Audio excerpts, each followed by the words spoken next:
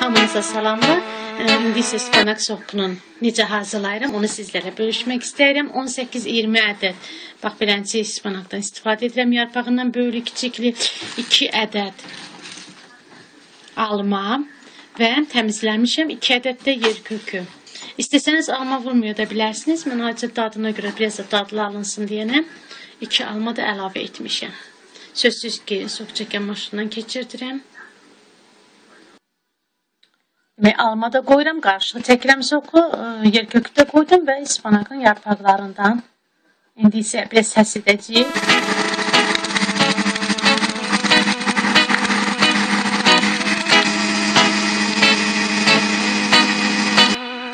Artıq sokumuz hazır.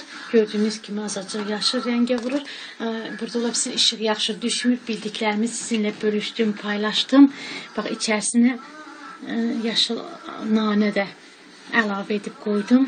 Həm iyi gözəl gəlir, həm də ki qəşəng görsənsin. Ancaq su yavaş-yavaş özünə çəkir yarpağı.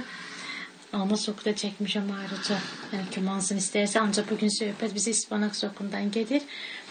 Onu bölüşdüm sizinlə bildiklərimi paylaşdım. Siz də bildiklərinizi mənə yazın. Rəy və təkliflərinizi gözləyirəm. Hər bir sualınuza cavab verməyə